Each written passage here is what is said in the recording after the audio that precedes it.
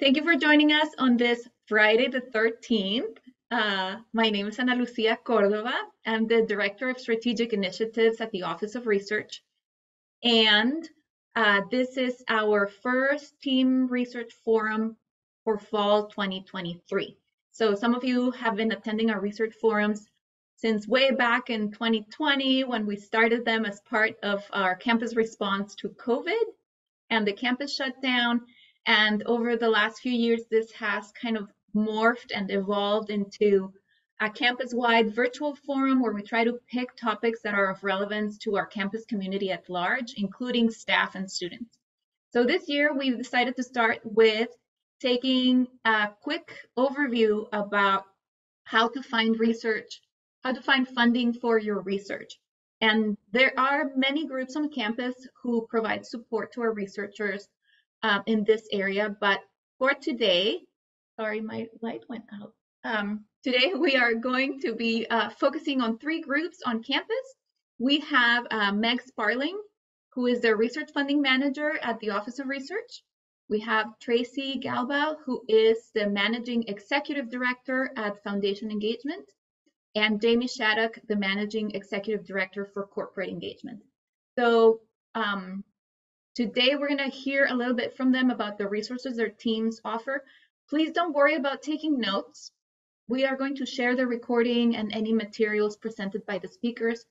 And with that, I'm going to let Meg start. I'm going to go to the background and figure out why my light went out. Thank you, Ana Lucia. I'm going to try to share my screen here. So is that working? Are you seeing presenter view or your view? Okay, good. and then of course I'm not on the right slide. So let's go back. Meg, it's in presenter view. It is? Okay. Yes. Uh, How did I do that before? Display settings.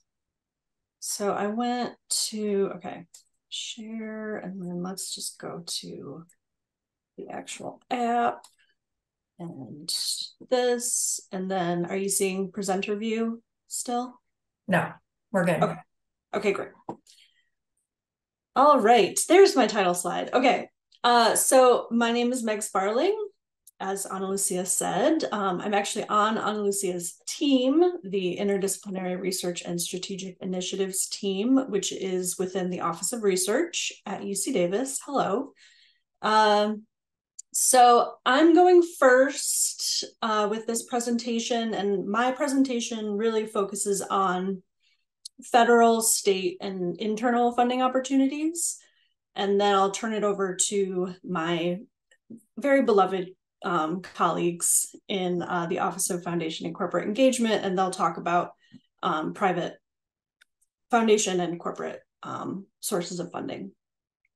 So let's get started. Um, a word before I begin, there are a lot of hyperlinks in these, these slides, and I am going to share them with you all. Don't worry. Um, I will say that um, a lot of these hyperlinks are very important, and so you may want to bookmark them. I'll remind you at various times during the presentation. Um, but don't worry, you will receive the slides with the hyperlinks. So I wear two hats for the university. Uh, one is I manage the limited submissions process. And um, if you don't know what that is, um, I actually have a slide about it later on, and I'll cover that. And then my other hat is that um, in the rest of my time, because limited submissions is a lot of work, um, in the rest of my time, I um, run a few things um, which are called the Funding Opportunities Program. And primarily that is sending out weekly uh, newsletters with funding opportunities. Most people are probably familiar with my name because of those newsletters if they're subscribed to them. Uh, and then I also uh, try to manage our pivot subscription, and we'll talk about that also in a little bit. Um, I have a list. So I have four newsletters. One is kind of a general newsletter. And then I have specific ones for social, the social sciences, um, early career researchers on campus, and then the humanities. Um, I, that last bullet is to provide the very important caveat that um, my work is really targeted towards faculty and staff researchers. Uh, if you are a grad student, undergraduate student, um, feel free to ask questions at the end um, and we can give you a little bit more information, but a lot of the information we're about to um, provide is really targeted towards faculty and, and staff researchers.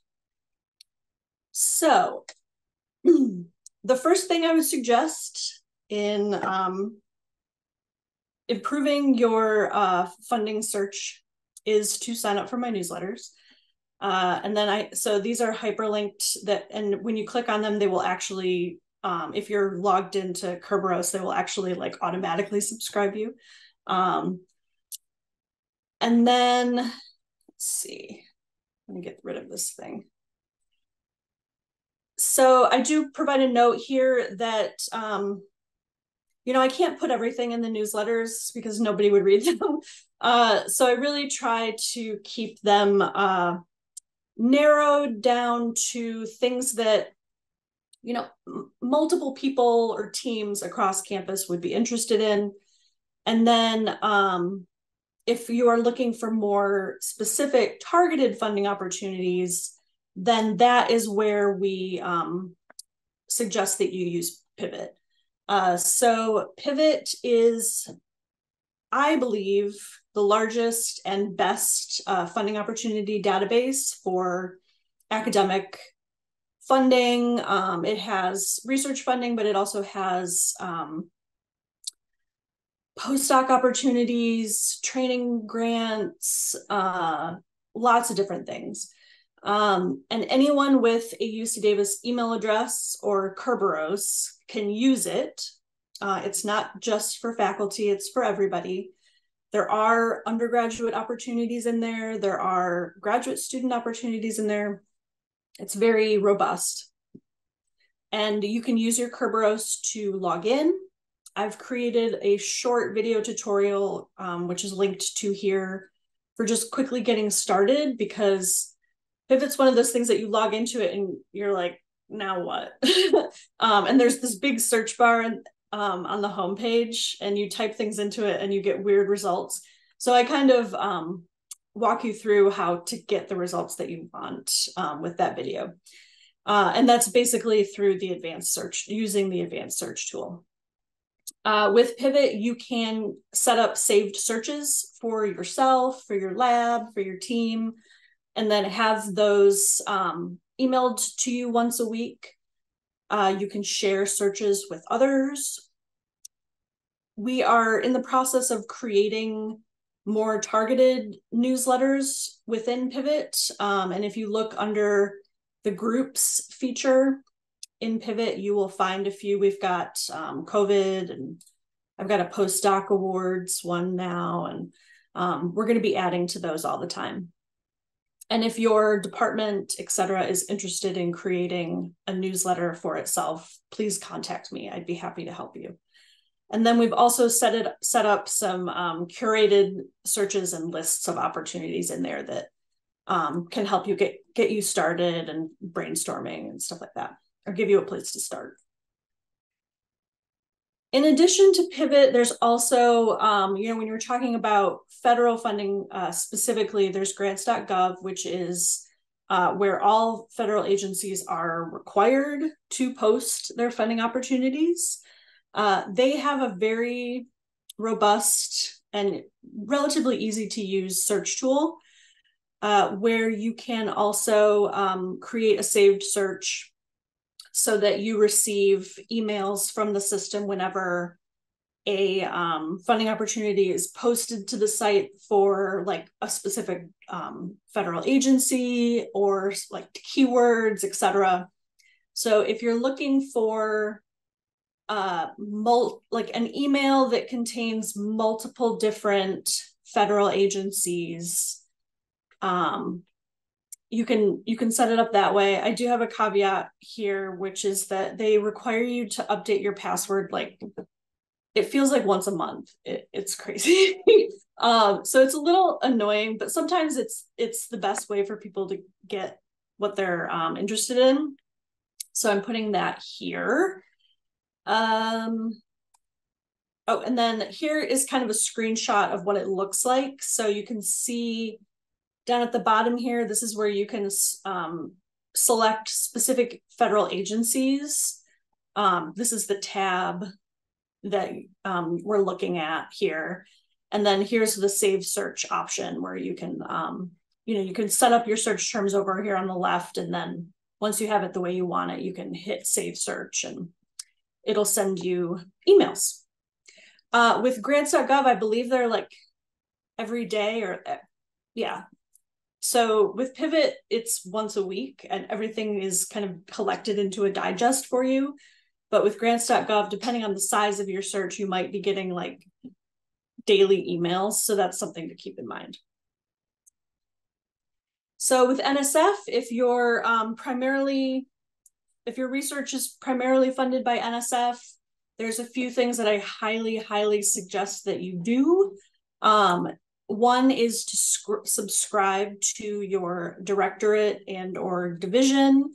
Um, I have a handy link here for how to do that. Um, I would also highly suggest that you occasionally attend their office hours. Um, they are really generous with giving their time um, in places like that. But the most important thing is to actually discuss your projects with your program officers. Um, they, you know, I go to conferences and there are program officers there and they always tell us um, we really wish that faculty would contact us more often we feel really bad when they spend a lot of time on proposals that just really aren't a fit um, and if they would have just contacted us like with an email or a phone call we would have been able to tell them you know actually it's this program over here that you should apply to saving you like up to a year um, in review time. Uh, so you can save yourself a lot of time and really increase your chances of success if you have a brief conversation with your program officers about which opportunities to apply to, what are the most important things to keep in mind when you're envisioning the project for this specific opportunity, et cetera. So the next slide, this is um, a screenshot of the NSF funding search page. You can see that you can um, dial down to specific directorates and divisions, um, award types, etc. Um, here I'm pointing out to where you can actually search funded awards. So if you're trying to figure out, you know, what have specific programs funded in the past, you can look there. Uh, and then this um, is showing you where to sign up for um, NSF emails. Oh, and then here's a screenshot of um, the email subscribe page, and you can just see here, like, oh, I can I can select um, specific directorates, etc. And then there's also like events and stuff like that. All right, for NIH, there they have a table of contents, um, which is a one email every week that goes out that has all the new opportunities for that week. If you want to see all of them, but if you want to receive more targeted uh, emails for just like specific institutes or for keywords, etc., then you can also use their search tool, which I have a screenshot of, um, to say, set up a saved search for them as well. Uh, and then here I also have the um, real recommendation to talk to program officers. Um, here's what the NIH search tool looks like. It's under this funding tab. Here you can see that you can select specific institutes, for example, or and they also have like the FDA, um, the CDC, um, those kind of relevant or um, connected federal agencies. Um, here's where you um, subscribe. Sorry, it's Friday. Um, here you can see that you can save your search here as well. All right, so those are the two ones that we get the most funding from. So I have specific slides for them. when it comes to all the other funding agencies, it's kind of similar, sometimes a little different for each one. So for here, I have links to like the search tool for the NEH and then the link to signing up for email alerts. Same for um, the NEA, the USDA, Department of Energy. Department of Energy is um, one of my problem uh, children. um, they all of their divisions like to do things different ways, and they don't have like one search platform for the entire Department of Energy, which is really annoying. Um, you can, and sometimes it's easiest to just use it, grants.gov to keep track of um, funding opportunities across DOE um, or Pivot. But um, if you need help navigating that, feel free to contact me. It's it's not just you. um, and the same goes for the Department of Defense. Um, things are can really vary across their different sections. So um, do some searching, and then if you get stuck, let me know. And then um, again, do talk to the program officers. And actually, and I'll just note with DOE and DOD, this is sometimes even more important um, because they have more of a culture of um, funding the people that they know. Um, and I'll just leave it at that. Uh, so for state funding and UC system wide funding, so for state funding, actually something really fantastic has happened in the last few years, which is that the state of California, um, the, the, the state library created one grants portal for all of the uh, state funding opportunities. Before they were just all over the place. And now they're all collected into this one portal where you can search really easily. You can sign up for email updates. It's fantastic. Um, so I have links to that here. Uh, then the UC Research Grants Program Office is, um, you know, part of the centralized, you know, Office of the President. They have um, regular funding programs, like their special initiatives. Um, they have like cancer and tobacco research programs, et cetera. But they also periodically um, have multi-campus award opportunities, um, grant opportunities. They have programs that support national lab collaborations. Uh, there's like a few president's awards. So make sure you familiarize yourself with what they have to offer. And if it's um, of help to you, there's also a UC Humanities Research Institute, so a, U, a UC system wide um, Humanities Research Institute. And they actually have um, quite a bit of funding opportunities, and a lot of them uh, encourage collaborations um, across multiple campuses, et cetera. Um, and they can be really cool and dynamic. So if you're in the humanities or the humanistic social sciences, uh, please check those out. And even if you're um, not in the humanities and humanistic social sciences, but you want to collaborate with people who are, um, that's a good opportunity to do so. So internal funding, in my uh, ideal world, every single internal funding opportunity on campus would be uh, posted on the InfoReady review platform, making it super easy to find them all but that has not yet been fully realized. Um, however, we do have more and more every year that are run through that platform. So it is becoming like a good place to start. And then um, if you know of internal funding opportunities on campus that need a platform that's very easy to use to run their competition, please send them my way, um, thus achieving my goal of having them all in one place. Um, in addition to that, there are many research institutes on campus who have like pilot project funding opportunities, et cetera. So please familiarize yourself with the research institutes, initiatives, et cetera, um, that are related to your research and talk to their directors, find out um, what their offerings are, etc. Uh, the Office of Research itself has a few funding opportunities. So um, Ana Lucia is actually the point person for this first one, and she might be able to answer some questions in the Q&A about it. But basically, the Interdisciplinary Research Catalyst Awards are for um, faculty who are who want to apply to really big funding opportunities like a NSF Science and Technology Center, for example, but they need some initial startup funding to like gather their team together and talk about what they're going to do.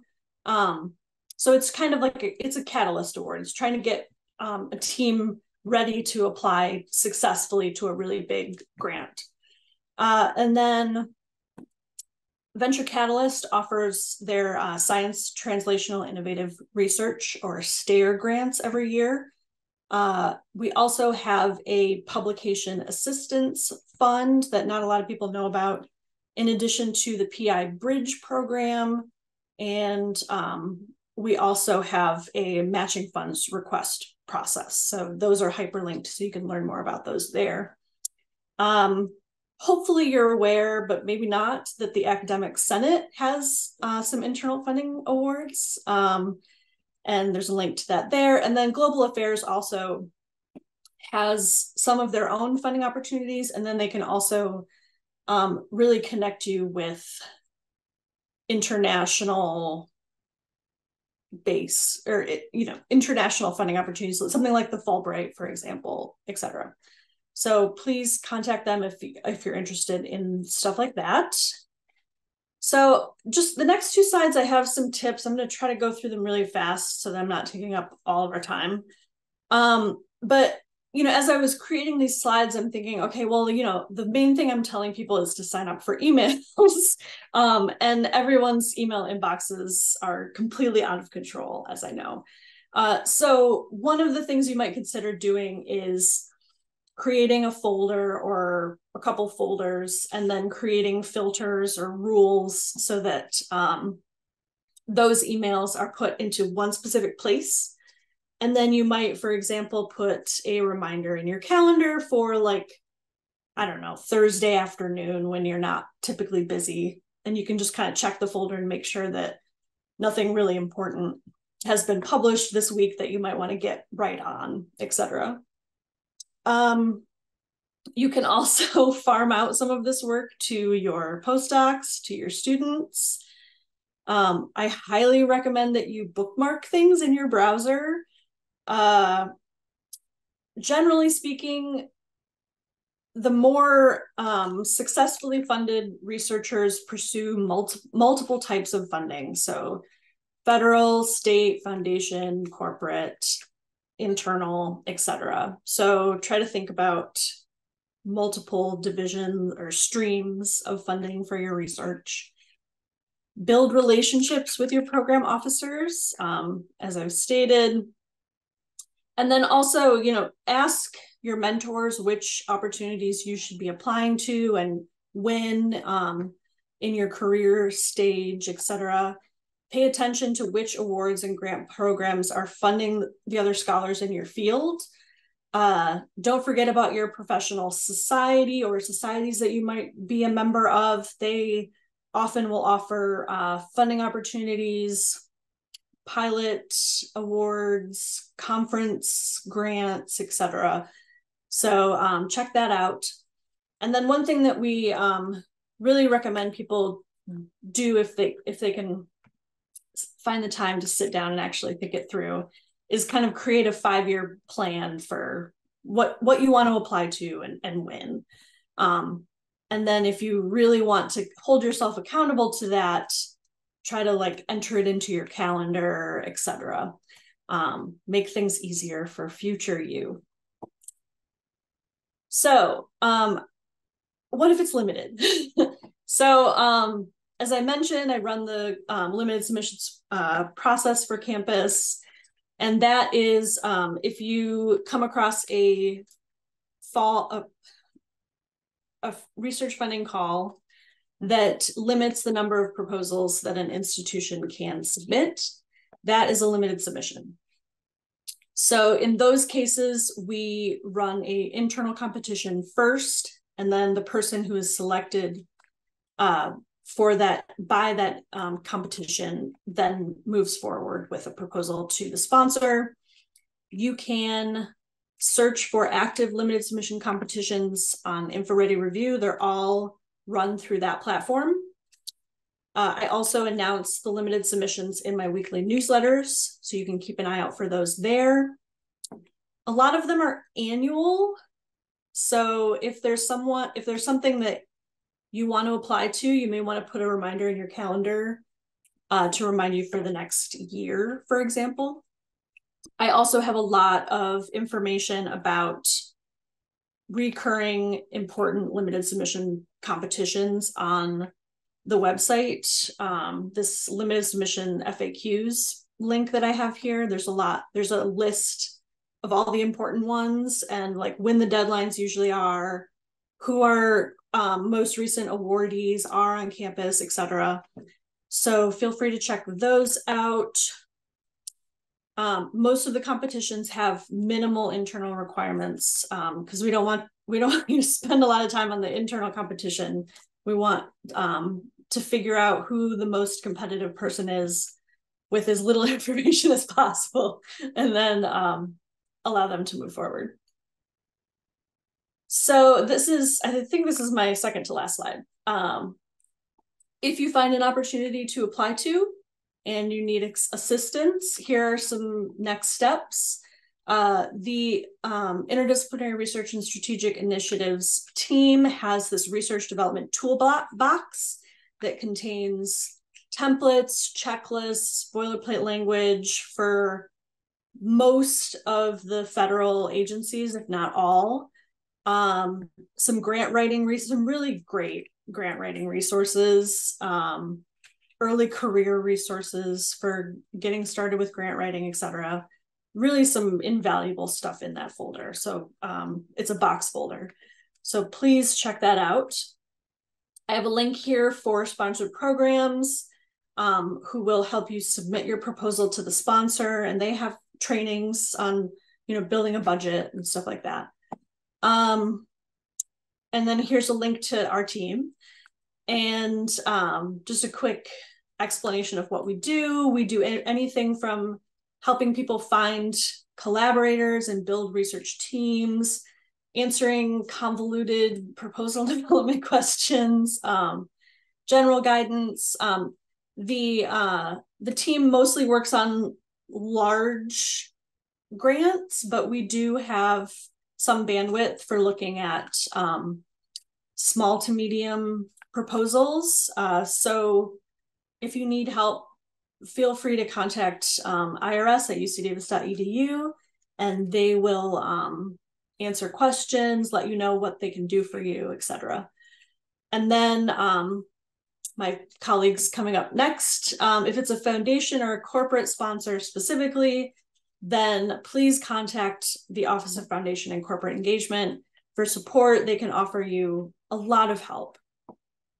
So, oh, yeah, and there's my contact information. So um, I'm going to stop and let them take it from here.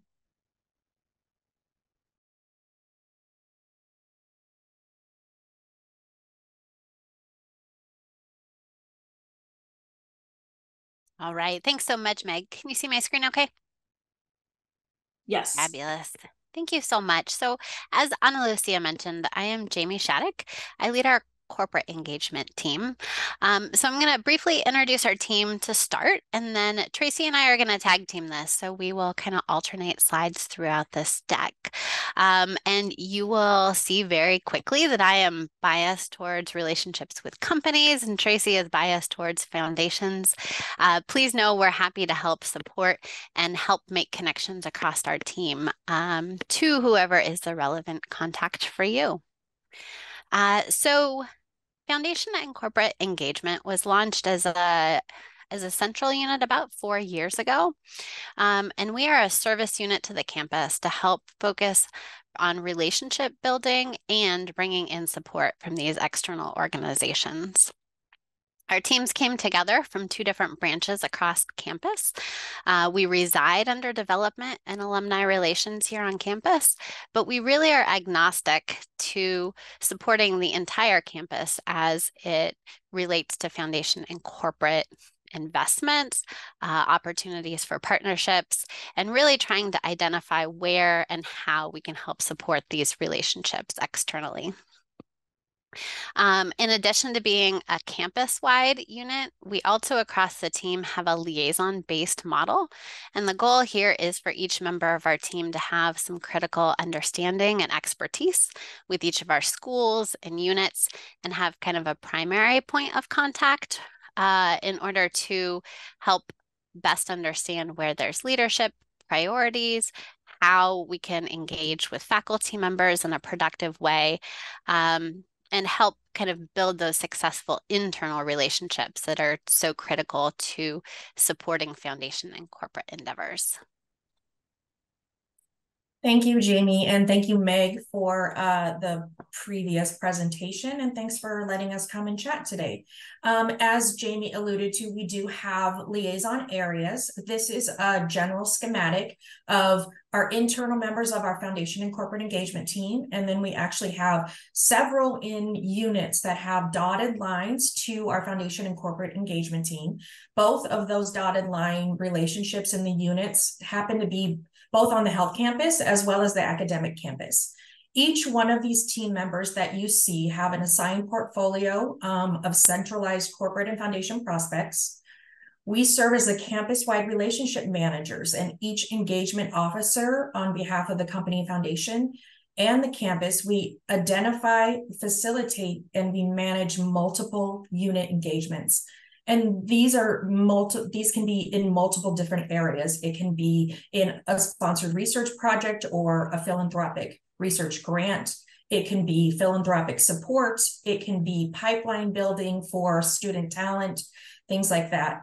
Um, we also try as a central team and with our dotted liaisons, um, we also facilitate um, knowledge sharing about engagement across the campus, depending on where it falls. And we do serve as the point of contact for um, our companies and our foundations. And this, again, as I said, includes a lot of professional education, potential space, equipment donations, recruitment, um, as I said, sponsor research. Um, so all of those things are sort of within our purview. And as you can see, if you are in a school or unit that actually has um, someone who is in that, like ag and environmental sciences or engineering, they usually are your first point of contact. But if you happen to be in a unit that doesn't, you can certainly reach out to Jamie or I, and we can connect you to the right person. So how do we operate? We've mentioned relationship managers a couple times now. And what we really see ourselves is to help support and serve as a facilitator in order to make these relationships a little bit easier on our faculty members, our staff, our postdocs. Um, our goal is to understand a company or a foundation, their priorities, what they want to fund, why they want to fund it, um, what the background has looked like, how have we been successful in these programs in the past, what faculty members might have previous relationships. All of those are important parts as we continue to look for investment opportunity from both foundations and corporations.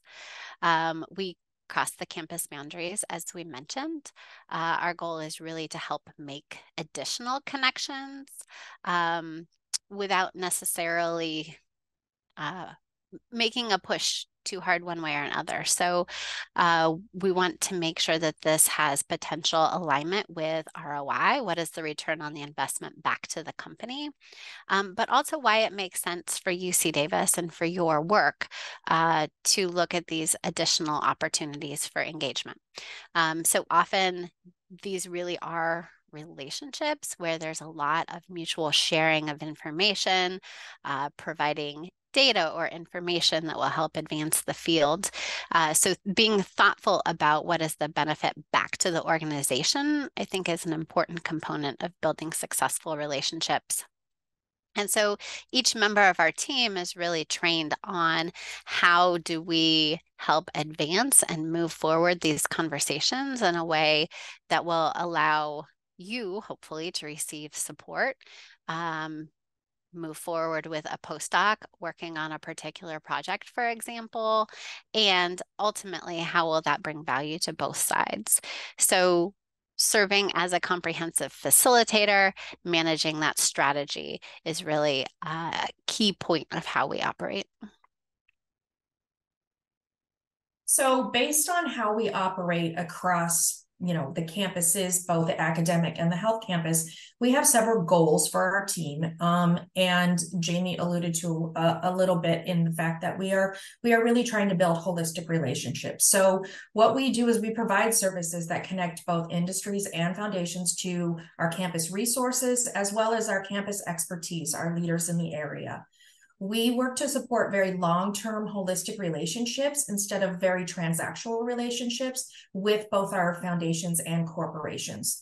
And we really try to foster meaningful engagement. Um, and it, it has to be a back and forth. So when we talk about return on investment, we're not only talking about a return on investment for our prospects, our foundations, or our corporations, we're also talking about our university benefit. There should be some sort of university benefit, whether it's you know, um, supporting educational projects, research projects, or even some of our service missions.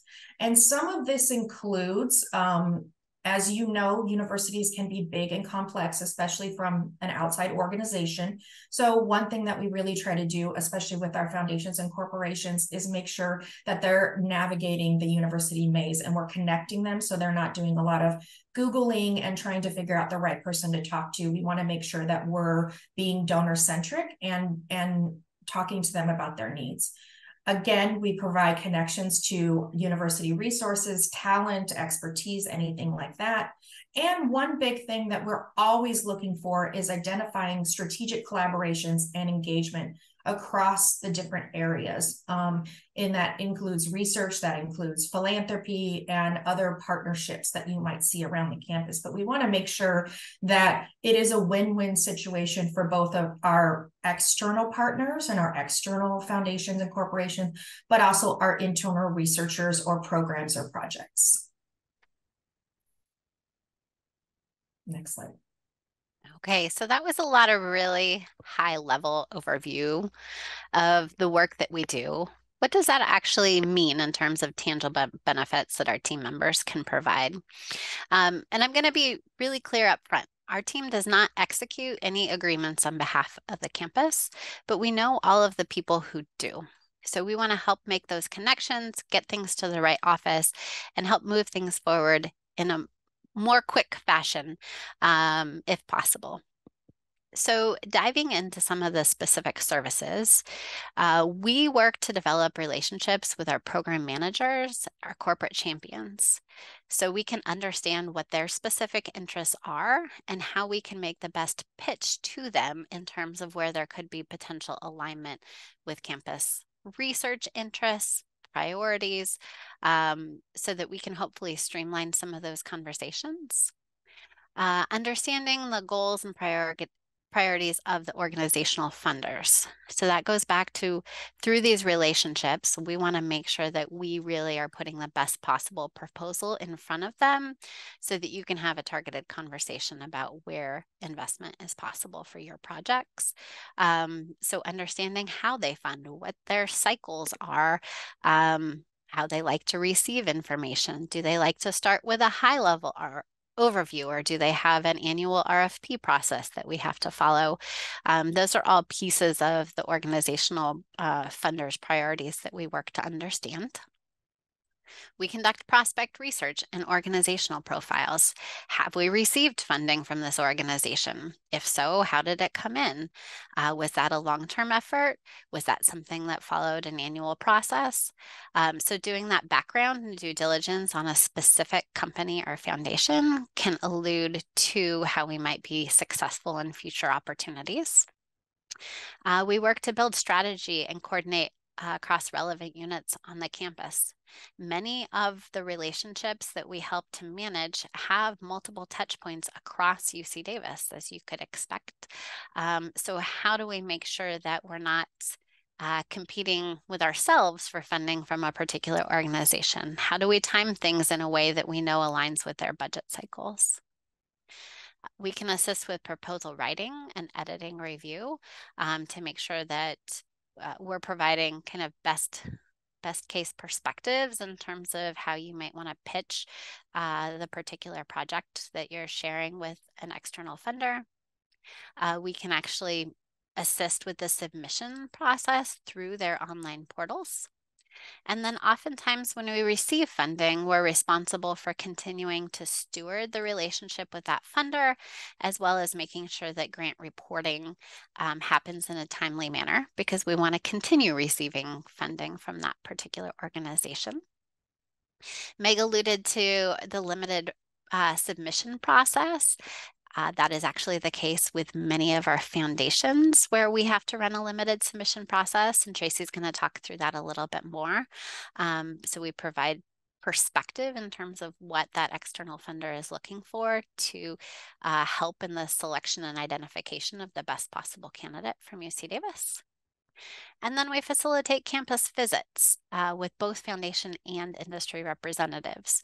So this could be a company that wants to visit. They have this particular day available. They have these identified interests uh, and we'll coordinate some faculty interactions, um, have a chance for you to talk through some of your research areas and see if there might be alignment with some of their current projects or programs. So thank you, Jamie. That um, that gave you a little bit of an overview of sort of what kind of services we can offer, uh, not only to our external stakeholders, but all our, our internal stakeholders. But I, I love this this chart because it breaks down depending on where you're at in your career. Like Meg Meg did mention that if there were graduate students or or undergrad students on here to reach out separately, but we do um, in on the foundation space and even in the corporate space, we work with um, not only postdoc researchers but early career faculty all the way through sort of professors. So this little schematic basically shows you some of the ways that we can support faculty. So early career faculty and postdocs, a lot of times, as Meg had said, they are looking, you guys are looking for preliminary or pilot data. And a lot of foundations are C are providing seed funding for that kind of thing. Then mid-career, there are there are calls for transition funding, there are calls for bridge funding, sabbatical or publishing grants. Those can be very targeted RFPs and we help support that. And then when it comes to sort of more seasoned researchers, uh, there are opportunities out there for transformational grants, some of these big ideas, some of these center grants, and we can help with some of those. In addition to writing the applications, we can help with um, help not sign, but help with some of the sponsored research agreements, um, MTAs, other things like that. So across the gamut, we work with all, types of researchers on looking for uh, funding, not only for programs, but also projects. And next slide. And we could not do that without our partners in this process. And I hope that if you take anything away, is that we work, we all work very closely together. Our team works very closely with many teams on the Office of Research. So we not only work with um, business office and grants analysts who support the budget process and put things into Cayuse for our sponsor programs approval. We also work with Office of Research on limited submission competitions. We do work with our, ARS team on editorial and budget support. We work closely with our individual development officers across schools and units and a lot of faculty across campuses. And then we do work with not only our gift agreements team if it comes in as a gift, or our cashier's office if it comes in as a, a grant or a contractual thing. So so we we have a lot of partners and we really couldn't do any of the work that we do without a lot of the uh, research units that um, are under the Office of Research. All right, so we're going to shift gears just a little bit and dive in. I'm going to start on the corporate engagement side to look at what corporate relationship building uh, really is because it's it's very cyclical. Um, there are often a lot of these pieces that are happening in parallel because we have a lot of different groups across the campus who might be having conversations with the same company. Um, so if, if we look at this in terms of kind of building awareness of offerings and starting on the left hand side, uh, there is tons of ways to find out information about UC Davis, probably too many. Um, so, how do we work to share information on specific research interests that might align with the corporate partner. Uh, we do that through a variety of one pagers and website pieces and sharing of articles and press releases um, on some of your published work uh, to try and build awareness of what's happening across UC Davis with uh, potential or current corporate partners. Uh, from there, we work to generate leads. What companies actually are interested in uh, supporting these types of collaborative partnerships? Um, obviously, not not every company wants to have academic relationships. So, which ones are they? Um, how do they tend to fund? Um, and then working to really build that relationship those relationships with our corporate champions are so critical to that, um, but also sharing some of the great work that you are doing and understanding where there's areas of synergy or, or mutual interest. So going from there to identifying uh, those those needs, who are those um, conversations that we want to help facilitate and happen. Uh, from there, working to develop a partnership.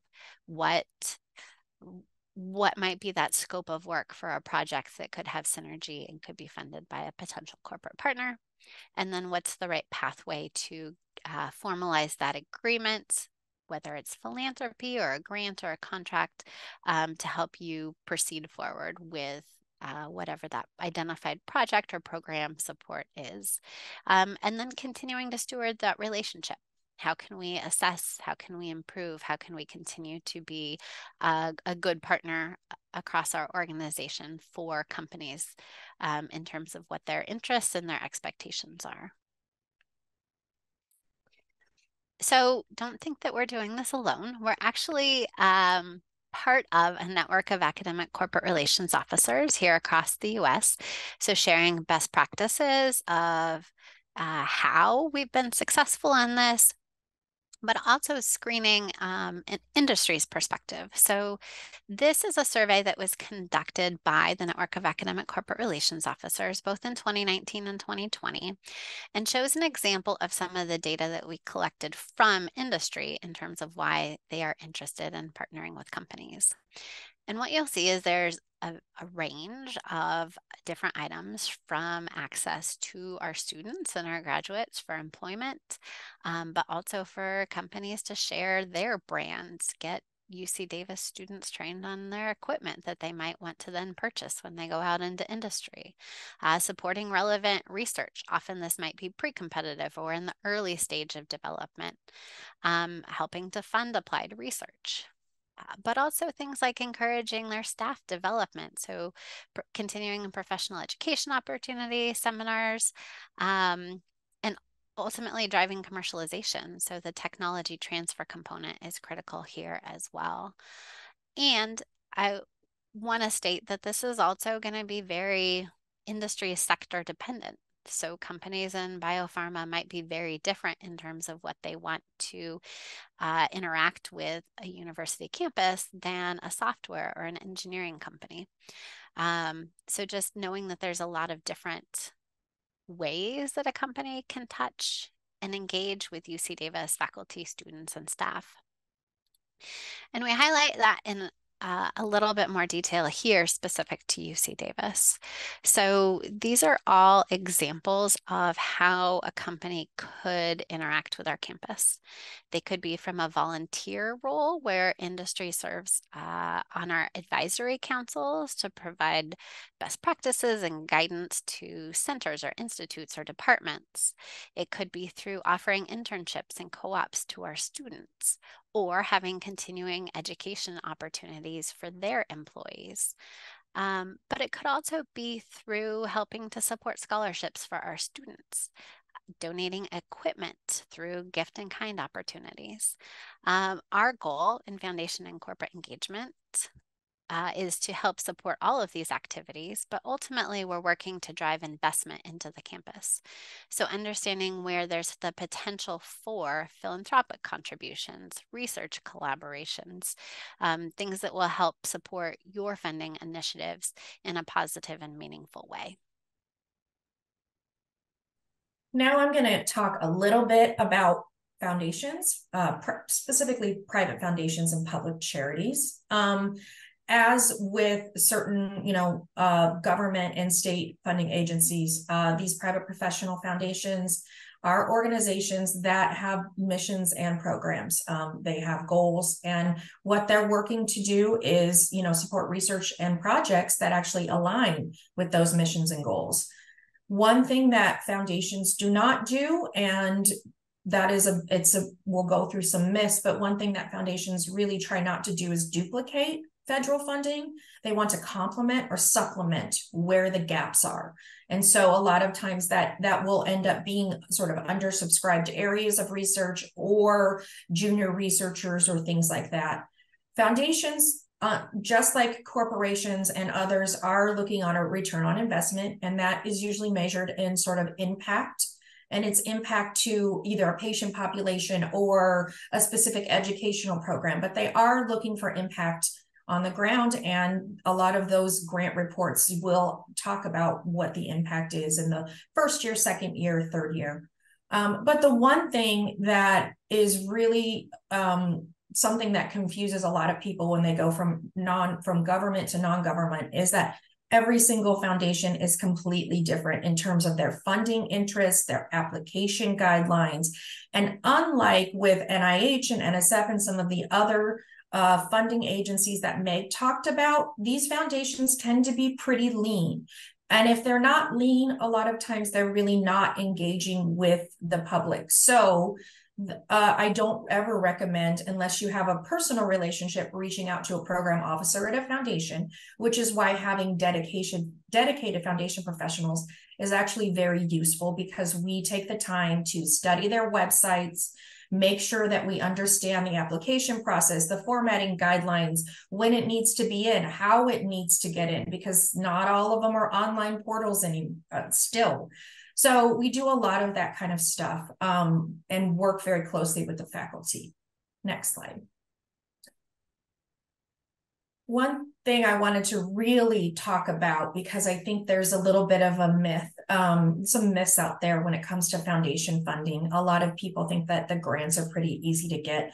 And the reality of the situation is they are actually highly competitive. Their pay lines, a lot of these, especially larger foundations with larger budgets, their pay lines are what NIH is looking at. So their pay lines are very similar. The, the good thing about that is there are a lot of foundations out there that you can go to.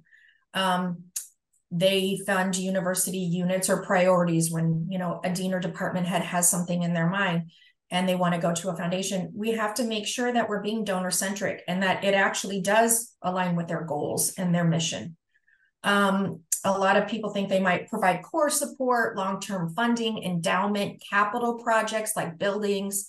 I will tell you, foundations have com- most of them have gotten away from funding things like that. So the majority of them fund programs and projects. And a lot of people believe that they make really transformational gifts. And we see that in the news a lot, but I will say that's the exception and not the rule. Our median grants here at UC Davis range from 75,000 to about 150,000. So it's not a lot. Next slide. Um, and I see our time, so I'm going to run through this a little bit quicker. Um, there are considerations for foundation projects, but really what you want to do is make sure that you're your project is aligning with the foundation interest, what your impact is, and what gap your research fills. They typically don't like to fund incremental research, so you really want to be asking some of the bigger questions. Next slide. And the this last slide that we're going to talk through, um, what we wanted to do was now that you know how what now you know what we do and how we can help you, we wanted to provide a snapshot of some of our top foundations and corporations. Foundations on the left, corps on the right. And you, I'm sure, recognize quite a few foundations on this list that we sort of manage. Um, and as I mentioned earlier, we work with a lot of internal offices. So I wanted to bring out two examples quickly. Um, and I want to highlight our limited submission process because that is no exception. Um, so the first foundation that I wanted to highlight was the um, WM Keck Foundation. So if anyone on this call has ever applied or been awarded a Keck grant, you know how much work it is from the start to finish as they have it's really it's a four step review process from the beginning to the end and the, the whole process takes about a year um, to apply and then once we find out funding it happens pretty quickly um, but they're managing that whole process would be very hard for just sort of one person. And so that's why we work closely with limited submission. The other foundation that I work very closely with Meg on is the Hartwell Foundation. And just like Keck, they have a, a pretty onerous process. It's only a two-step review process, but the application is is is a bear to write. so with both of these, Meg and I actually we do informational sessions for faculty. We run the internal competition as well as provide editorial assistance on applications. If any of these applications get invited to either interview or site visits, we actually coordinate practice sessions, all of those kind of things from soup to nuts. So even though these foundations are managed by our foundation and corporate engagement team, as I've said a couple times, I could not do my job effectively without several teams within the Office of Research. And I'm going to let Jamie share a couple examples from the corporate side. Thanks, Tracy. Um, as mentioned, this is just kind of a handful of the organizations that we help to support. And we know that there are a lot of faculty and grad student relationships that are happening with these companies all the time. That's great. We love the interaction that's happening. Um, but on the corporate side, most of the time there isn't an RFP process. Most of it is based on that relationship that you're building. So we want to be able to be available to offer support and guidance and perspective if you're having those great conversations with a company and you just want to get to the finish line. Um, one of the examples showcased here is Genentech. They have hired a lot of our students, both at the grad student and undergrad level. Um, but they've also provided a lot of engagement and touch points across UC Davis as a company that has a Bay Area presence. Uh, most recently, they provided support for Avenue B, which is one of our um, transfer student program pipeline programs around the biological sciences and that support actually came from the Genentech Foundation. They have an interest in health equity. They work with our hospital on clinical trials. So we know there's a lot of touch points happening. If we can help get to the agreement stage and execute on a project or a program that's of interest to you, that's really where we want to help add the value. Um, so please know we we certainly encourage those conversations happening on the corporate side because we know they're happening all the time. And we just want to um, help get things executed on the back end in a way that would be advantageous to our faculty members, our staff, and our students. So with that, knowing we're at time, we leave you with our email address. Uh, we would love to hear follow-up in terms of uh, where you think there might be engagement on either a corporate or a foundation um, that would be of interest to you. And with that, I'll turn it back over to Ana Lucia. Thank you everyone for your presentations. We are over time, but I don't have anywhere else to go right now. So I'm happy to like answer some questions. Um, Dan Port has a question. In working with outside groups, has your team ever looked at highlighting the support structures at UCD? For example, I'm in the mouse biology program and we offer services to external clients, but don't know if corporate entities you work with are quite aware of what UCD can do to support them. I'm going to let Jamie maybe provide an answer to that one. Happy to. Thanks for your question, Dan. And, and yes, we do our best to share information on service groups across the campus that would be advantageous to companies. Um, and I am very familiar with the, the mouse biology program. So uh, we use slide decks at times to highlight some of the university assets and share that information with our corporate partners. Uh, especially if their interest is in identifying specific service units that they might be able to take advantage of uh, things that UC Davis already offers and has established rates for external clients. Um, so one of the things that I always tell faculty is if you're interested, just reach out, reach out to Meg or Jamie or Tracy or myself. If we know what you do, it kind of gets indexed into our like permanent Rolodex of things that we are like thinking about, and it gives us something to talk about when we reach out to sponsors.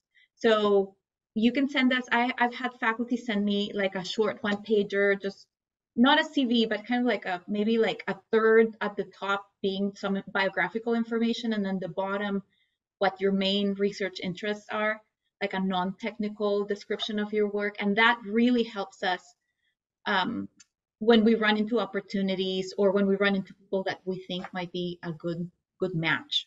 So so yeah, like take some time to maybe put together that one pager because it will serve you well for a long time and it's easy to to update. Um, I have a question. So I know that uh, corporate entities sometimes have seed funding calls that go out. Is that like um, is there a resource that um, FCE maintains where people can search for those, or if they're interested in applying for those, who do they contact to learn more about those opportunities?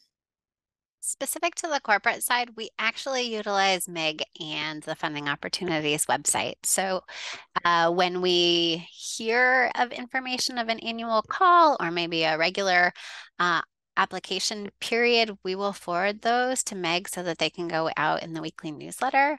And they will, at that point in time, include who the contact on our team is that works most closely with that organization so that you can directly reach out to that person. Any more questions from our audience? Don't be shy. You can speak up or you can put something in the chat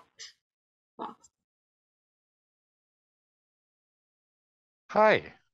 Yes. Uh, so I was madly taking notes. Who do we send the one page blurb on what we do and why we do it to?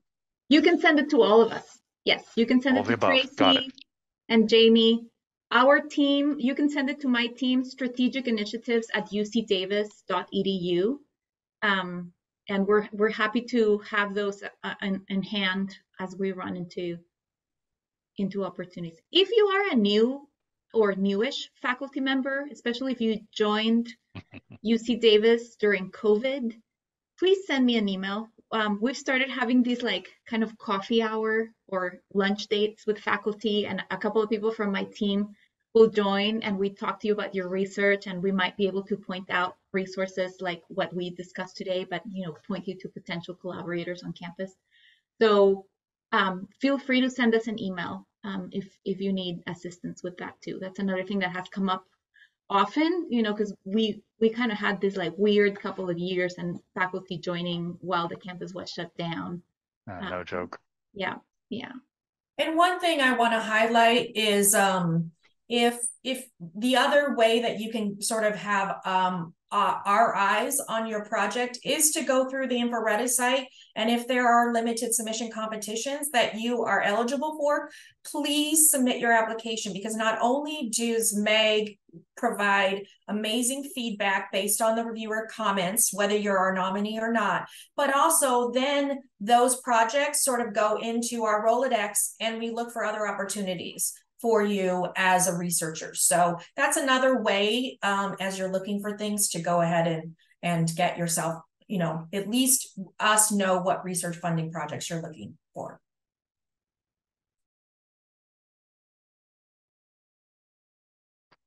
Perfect. Thank you. I'm just typing away. We will post a recording and I will share the slides and we might send you a little survey just to get your feedback on what information you, you might want to hear next time we do something like this. Um, anyone else? If no one else, I have one more question. Go ahead. The position that one needs to occupy at UC Davis to apply for these. I'm a staff researcher. I am not technically faculty. Can I still apply? Uh, I think, yeah, go ahead, Meg, if you want to, yeah. So there are oh sorry, I'm seeing my camera light flash. Um if there's a there's a form uh, that you fill out um, for sponsored programs um, where your department chair or mentor or um, appropriate person would sign, and then you would be granted principal investigator status for that project. Um, so there is a process for making you a principal investigator on projects. Um, feel free to contact me or sponsored programs about that. And if you're looking for foundation opportunities, um, there are several times where they say tenure track professor, but a lot of times they'll say tenure like. And when I reach out to foundations, tenure like is, you know, a dedicated lab space, some startup money, maybe some graduate students and postdocs that you're mentoring.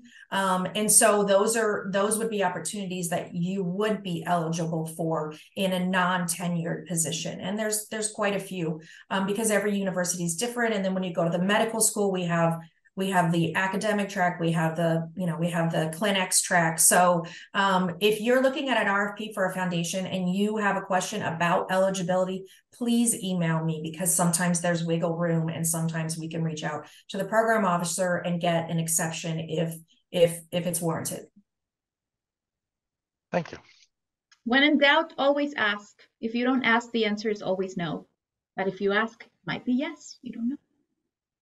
Or at least a guarded yes that leads us towards the better question. Some hope. Can I ask how many, we still have 26 people here online. How many of, of the people online are early career faculty? If you could just like kind of use the raise your hand. Um,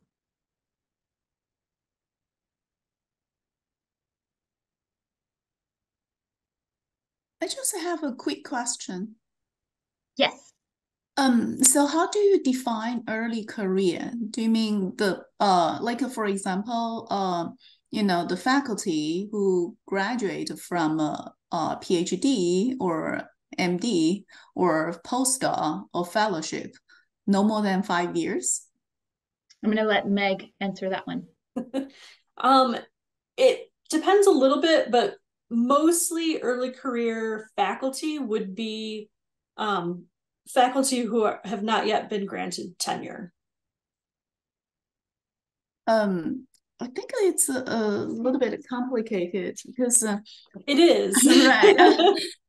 um, I'm not really, uh, you know, working in the annual track because I'm at the School of Medicine. There is a health science clinical educator track, and that is not really offering any tenure. But uh, as uh, UC Davis Medical Center or our School of Medicine is a sort of like an academic institution, any faculty as far as I know, is encouraged to conduct research, no matter you're just a clinical track or, you know, a research track.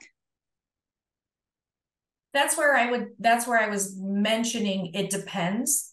Because if the call is for tenure like, or someone who's doing research and has uh, you know, their own lab space, as I said, um, those are areas in which you would be eligible because as I said, not every institution is straight assistant professor, associate professor, and then professor. So again, it's always better to sort of ask the question depending on sort of where you're at, because I do have a lot of medical faculty that are in either the clinical tract or the health education tract that are actually eligible to submit for some of the foundation applications. So it when it comes to foundations, it just like I said, it, it really depends. But there there are a, there's a lot of you know there's a lot of wiggle room depending on um, which foundation and, and which opportunity. Um, and I would I would add to that that on the federal foundation or the um, federal agency side, um, I would encourage you to reach out to someone who is actually on this call, um, Erica Shadan, um, who is in the um, School of Medicine Office of Research and does a lot around um, grant. There she is. Hi, Erica. um, do you want to chime in on this at all?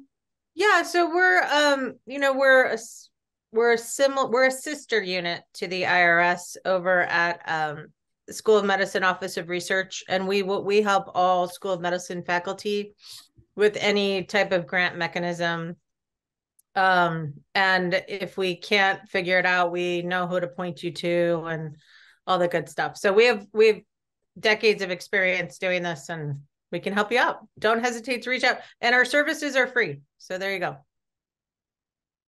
Do that's you have an email address, like a email address that you can put Oh in the- yeah, I'll put my email address in the chat right now. Thanks. Thank you very much. It's a really wonderful uh, presentation from all of you. Really appreciate. Good. Thank you. Seconded strongly. Yeah, very valuable information. Thank you. Any more questions? We can also take questions from staff. If you're a staff member supporting faculty, please also feel free to use this as a resource. Um, Uh.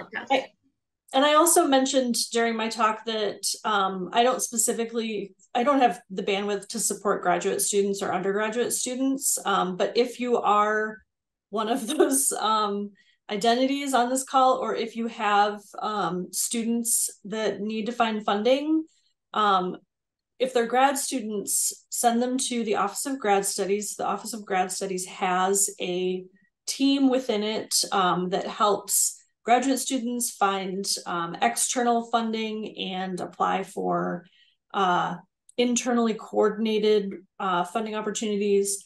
And then when it comes to undergraduates, um, there is the Undergraduate Research, Research Center, um, and then uh, some grants that we can point you to, um, like undergraduate research experiences, an NSF program, et cetera, where you can where the faculty member can apply for a grant and then um, use it to um, engage undergraduates in research activities, et cetera.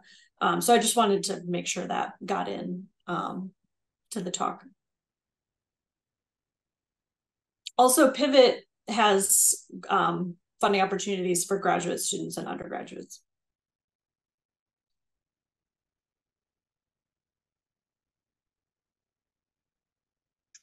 All right, I think kind of exhausted questions for now. Um, as, as, I, as I said, we will uh, post a recording and we will share the slides and um, maybe we'll pull out some of the more relevant links so that you can have them in an email. Uh, but if you have any questions about Foundation's corporate engagement, reach out to Tracy and Jamie.